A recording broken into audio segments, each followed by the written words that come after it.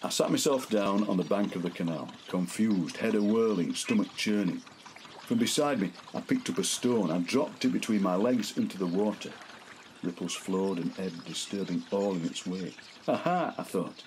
Now the water matches my thoughts, unclear, disturbed, unable to be made sense of. For a while, as I sat there, the water and I were one. The water understood me, felt me, knew me. It was as confuddled as my mind, not knowing if it was coming or going.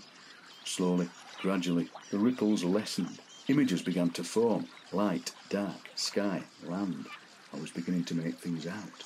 The outline of the trees on the opposite bank still shimmering, casually getting clearer in its own time and its own way.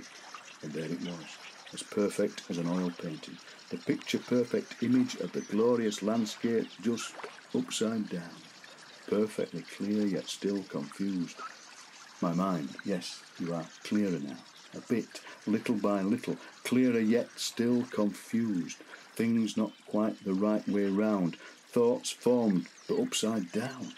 The water is my medicine, the canal is my therapist. Calmer, gentler, I can face the world again until the next ripples.